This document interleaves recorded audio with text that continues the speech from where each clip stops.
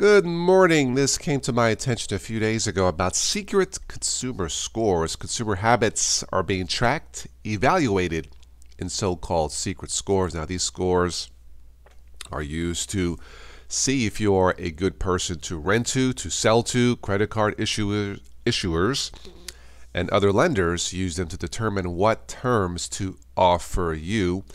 This is part of a discussion on the NBC Nightly News a few days ago.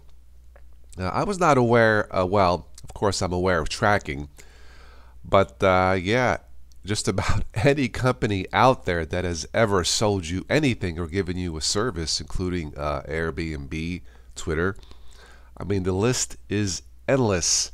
Uh, you do have the right to get access to your secret consumer scores, as you see here.